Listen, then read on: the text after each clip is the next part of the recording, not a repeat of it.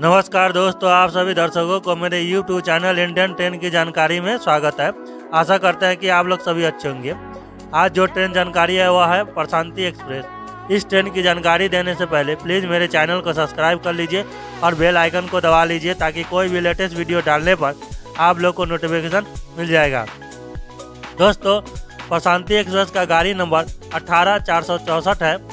यह गाड़ी के एस बेंगलुरु से भुवनेश्वर के बीच में रोज़ाना चलती है। एस आर बेंगलुरु से भुवनेश्वर के बीच की दूरी एक हज़ार पाँच सौ छियालीस किलोमीटर है।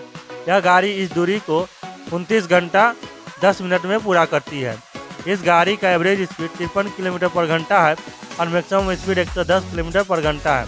यह गाड़ी के एस आर बेंगलुरु से चलकर Yelahanka junction, Dharmavaram junction, Anantapur, Guntakal junction, Guntur junction, Vijayawada junction Samalkot junction Visakhapatnam, Brahmapur Brahmapur Khurda road junction होते हुए भुवनेश्वर को जाती है।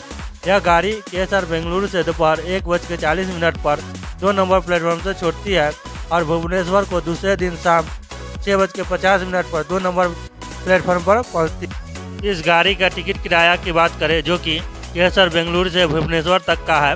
फ़र्स्ट ए सी चार हज़ार एक सौ पचास रुपया, सेकेंड ए सी दो हज़ार चार सौ पैंतालीस रुपया थर्ड ए सी एक हज़ार छः सौ नब्बे रुपया, स्लीपर क्लास छः सौ पैंतीस रुपया। इस गाड़ी का सटीक टिकट किराया जानने के लिए रेलवे के काउंटर में आप लोग जाकर पता कर सकते हैं।